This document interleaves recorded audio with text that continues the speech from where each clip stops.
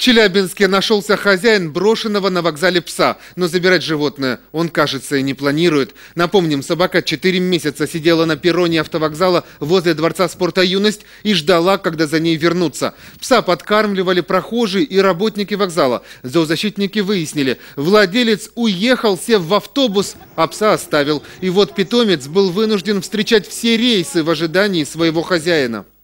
Маленькая. А как зовут? Имя не знаете? Собака. Просто собака. Да.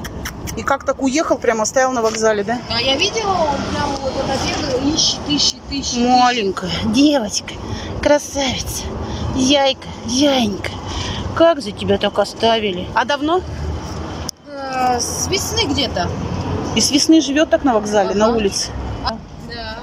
Да. Когда о истории челябинского хатика заговорили в городе, нашли хозяина пса. Вот только забирать животное он не стал. Впрочем, и объяснить ничего тоже. И вот собаке дали кличку Моти. Она обрела новую семью и уже привыкает к новому дому.